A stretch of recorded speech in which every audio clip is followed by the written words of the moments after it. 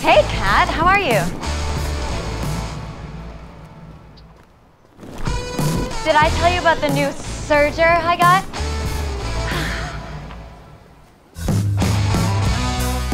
It's amazing! It's the Brother Airflow 3000, and it's got next level jet air threading technology. You want to come see it in action? See? Faster, more efficient threading, and no more twisted, knotted threads. Check this out. It's easy to use and to change thread colors. The stitch quality is fabulous, especially on those tricky fabrics like knits and stretchy material. There's also a quick change lever for the rolled hem stitch feature. There's also a safety sensor for those times I forget to close the lid or if the presser foot isn't down. Speaking of feet, look at all these. They're all included. And that's the Brother Airflow 3000.